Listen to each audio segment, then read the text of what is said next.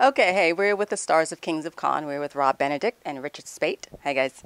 Hi. Hi. All right, Kings of Con. The story is you're kind of um, you're basing the story off of the life of two guys who are basically famous during a certain period of time, which is convention season. That's right. Why did you go with this? Because uh, in real life, It's our real life. that's what it is. Uh, yeah, we we uh, had parts on the show Supernatural, and uh, we so we do Supernatural conventions.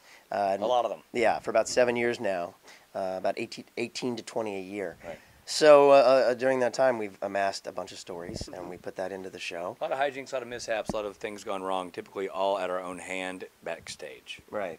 And so yeah, and the you know the the thing about it is it's so odd is in this little world, you know, you, you do sort of experience that sort of feeling of like, you know, being popular or famous for something. It's micro fame. Right. But in reality, you know, when you g- get out of there, no one gives a crap who we are. uh, so we thought this would this would be funny to put this into a show.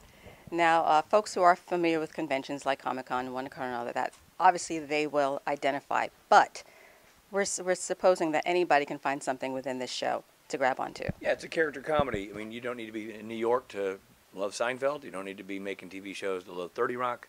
Uh, it's it's in those in that vein that it's uh, that we make this show. It's a character-driven comedy that is inspired by our experiences at conventions, but conventions are just the backdrop upon which or against which all the comedy plays out. So it's really, if you like comedy, this show is for you. Yeah. yeah, it's I mean it really is it's ultimately it's, it's a it's a comedy about the relationship between these two guys.